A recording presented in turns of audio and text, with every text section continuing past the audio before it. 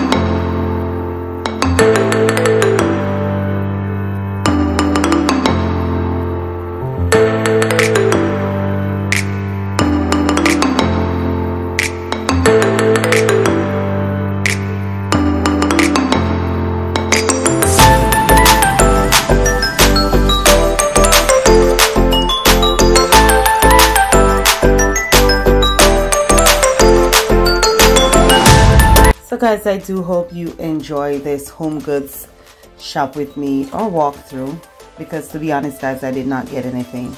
I'm not ready yet. But there are so much beautiful Christmas decor to choose from. And uh, I do this video just to let you know that they're in stock. So go check them out. Subscribe, like, and share. Bye-bye.